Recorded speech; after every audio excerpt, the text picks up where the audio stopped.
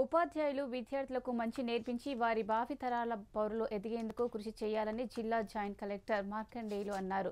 చిత్తూరు జిల్లా నాగయ్య కళాక్షేత్రంలో డీఈఓ అధ్యక్షతన జిల్లా విద్యాశాఖ మరియు సర్వశిక్ష అభినయన్ ఆధ్వర్యంలో గురు పూజోత్సవం నిర్వహించారు. ఈ సందర్భంగా ముఖ్య అతిథిగా హాజరైన జాయింట్ కలెక్టర్ మాట్లాడుతూ భారతదేశంలో గురు పూజోత్సవంకు ఒక విశిష్టమైన స్థానం ఉందన్నారు.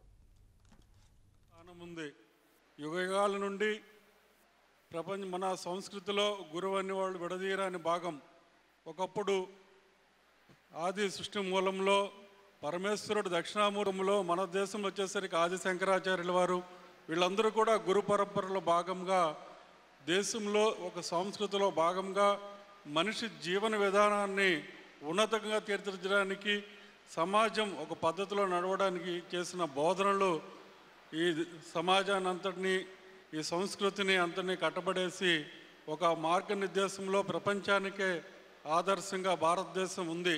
దానికి కారణం ఒక గురు యొక్క కృప గురు యొక్క విధానం ద్వారానే చెప్పి మీ అందరూ తెలుసు.